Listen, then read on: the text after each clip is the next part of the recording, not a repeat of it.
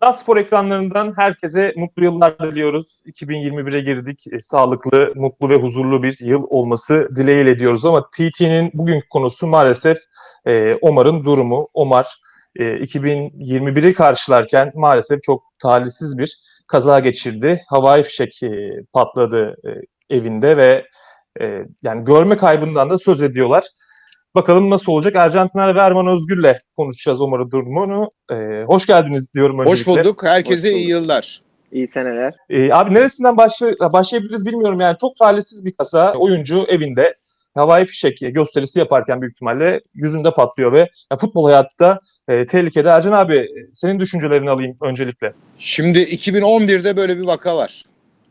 Bunu gerçekleş 2011'de. 2011 yılında bunu gerçekleştiren Balotelli maalesef havai fişek patlatıyor. Evde büyük bir hasar var.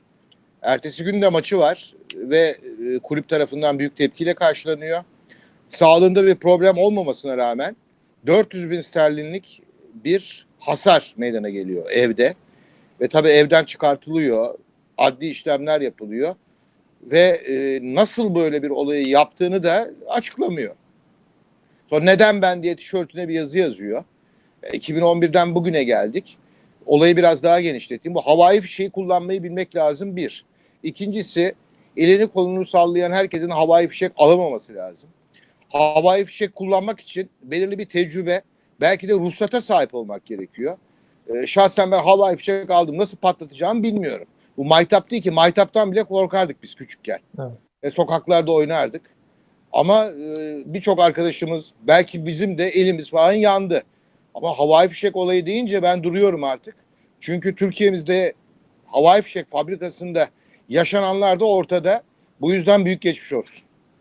Abi eften püften sebeplere havai fişekle yaşanan eğlencelere aynı senin söylediğin gibi çok da karşıyım. Çünkü bunun hani Kurban Bayramı'nda hiç bu işle ilgili profesyonelliği olmamasına rağmen kurban kesmeye çalışan insanların yaşadığı kazalardan çok fazla bir farkı olmadığını düşünüyorum abi. Biz uzman olmadığımız işi kulaktan dolma bilgilerle yapmaya çok alışkınız. Bu sefer de Omar'ın başına geldi. Ama bu ruhsat konusunda %100 senle hemfikirim. Ee, anlattığın hikaye de tam Balotelli'ye göreymiş bu arada. Maalesef. Maalesef. By always me değil mi? O tişört, meşhur tişörtü. Yani Evet, sonra, sonra bir de kendini haklı görmesi enteresanmış. Yani Maalesef. Balotelli yapınca tabii e, biraz da normal karşılanıyor. Böyle uçarı hareketleri yapan bir oyuncu ama e, yani Omar'ın olayının nasıl olduğunu tam detaylarını da bilmiyoruz. E, Mustafa Cengiz bir açıklama yaptı abi. E, yani aslında biraz da eleştirel baktı. Hani herkesin satın almaması gerekiyor bu tarz e, maddeleri dedi. E, durumu bir iki hafta içinde belli olacak Omar'ın ama gözün, gözünde büyük bir problem var. Eğer görme kaybı e, kalıcı hale gelirse futbol hayatı da tehlikede. Yani Erman abi çok e, üzücü bir durum tabii. Yani ben şöyle söyleyeyim daha 29 yaşında e, ama sosyal medyada Omar'ın başına gelenlerle ilgili tüm takım taraftarlarının verdiği tepkiyi görünce de hani biraz e, bilmiyorum ben futboldaki fanatizmden yana umutsuz vakaydım. Ama insanların Omar'a tepkileri, yaklaşımları, herkesin destek olması falan açıkçası beni bayağı bir cezbetti. Gerektiği zamanlarda birlik olmayı bilmemiz çok güzel.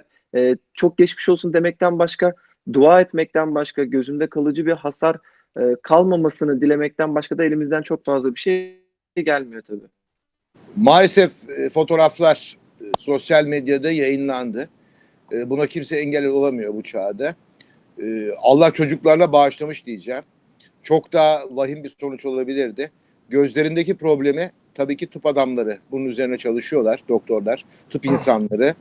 E, Bunu e, herhalde birkaç güne kadar açıklarlar. Umarım futbola geri döner.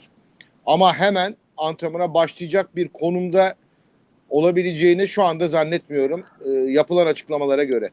E, Abi zaten ilk olay olduğunda çok daha vahim bir e, tablo vardı. Hani ilk haberler hani yoğun bakıma mı alınacak gibi e, söylentiler de dolaşıyordu. E, yani o noktadan buraya en azından hayati bir tehlikesinin olmaması e, çok sevindirici bir durum tabii. Aynı kanaatteyim. Hayati tehlike yok ama profesyonel ve ekmeğini bu işten kazanıyor. E, Bu yüzden de bundan sonrası önemli. Şu anda hastanede yatmakta olan Omar için. Bu birkaç günün çok kritik olduğu kanaatindeyim ben. Yani gözündeki ödemi almak için bir iki hafta e, bir bekleme süresinden bahsetti Başkan Sayın Başkan Mustafa Cengiz. E, eğer o ödem geçerse hani görme yetisini tekrar kazanırsa futbola e, kaldığı yerden belki devam edebilir ama şu andaki görüntü çok hani doktorun da yaptığı açıklama çok iç açıcı değil Maalesef, maalesef. değil. Ama önce bir hastaneden çıksın. Sağlığına kavuşsun. Ailesine kavuşsun. Sonra da tıbbi kontroller devam etsin. Ona en son bakacağız artık. Şu anda bir numaralı gündemi hastaneden çıkması ve sağlığına ailesine kavuşması.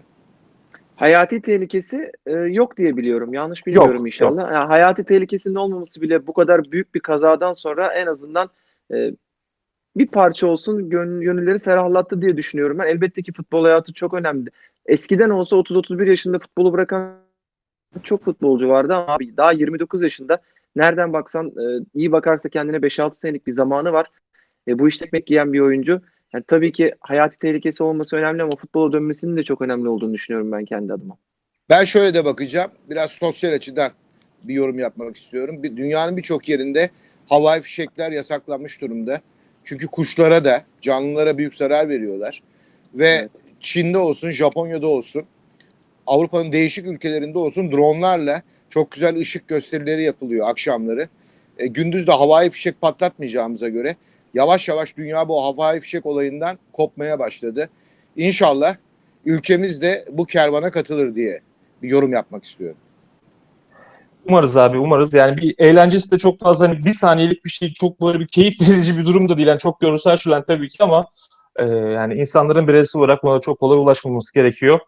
E, hakikaten sıkıntılı bir durum. Abi biz e, Erman abi silah, eklemek istediğin silah, bir şey var mı? e, silah atarak sevinen bir toplum olarak havai fişekten kolay vazgeçebilir miyiz? Bundan da biraz açıkçası şüpheliyim. Biliyorsun biz de sevinince, üzülünce, e, biraz böyle heyecanlanınca her şeye silah e, elimize alıp havaya ateş açan bir milletiz. Ama biraz bunu artık devletin de mutlaka e, frenlemesi gerektiğini düşünüyorum. En az silah kadar da tehlikeli gözüküyor.